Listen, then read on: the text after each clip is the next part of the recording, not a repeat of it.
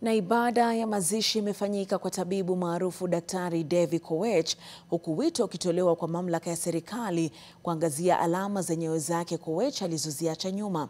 Wazungumzaji katika hafla ya mazishi hayo wametoa wito kwa mashirika yasiyo halali kurudisha mali iliyoporwa kwa familia ya marehemu Koech. Taarifa imeandaliwa na mwanahabari Isaac Wafula na kutiwa sauti na mhariri Lofti Matambo Mrima. Mmoja wa wanasayansi mashuhuri nchini Kenya na mwanachama mwanzilishi wa taasisi ya utafiti wa dawa nchini KEMRI, Profesa Devi Kiprotich Koech aliyefariki mapema mwezi huu akiwa na umri wa miaka sabini na mitatu. Daktari Koech alizikwa nyumbani kwa familia yake huko Motero, kijiji cha Sigoin, kaunti ya Kericho. Kama ilivyo mtu anapoacha alama kuu za kukumbukwa, maisha yake na nyakati za Koech za hotuba. Hapa mzungumzaji baada ya mzungumzaji wakionekana kukosa usemi mwafaka ambao ni bora zaidi wa kueleza kumhusu Daktari Koech. There is no mistake that you can say he has done. Mtu ambaye research yake imesaidia wagonjwa wanaishi zaidi ya vile wangeishi.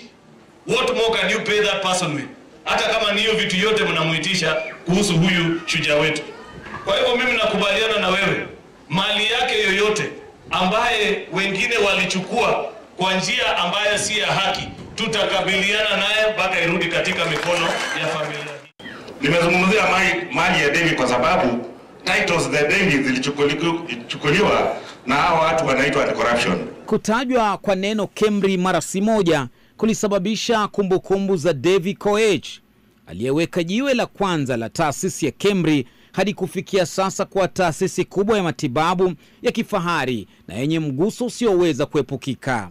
Mintarafu ya hayo, enzi za Daktari Koech ziligubikwa na madai ya ufisadi ya kupatikana kwa mali ya umma ya KEMRI ya thamani ya shilingi laki nane na kuhamisha shilingi milioni 19.3 kutoka kwa akaunti ya taasisi hiyo hadi katika akaunti yake ya kibinafsi ya benki.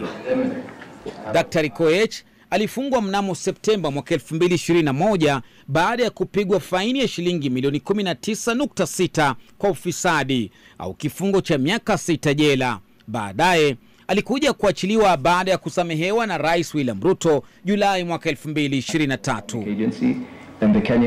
Aidha, wazungumzaji hapa walitoa wito kwa uwekezaji zaidi katika utafiti kwa heshima na miradhi ya Dr. Koech.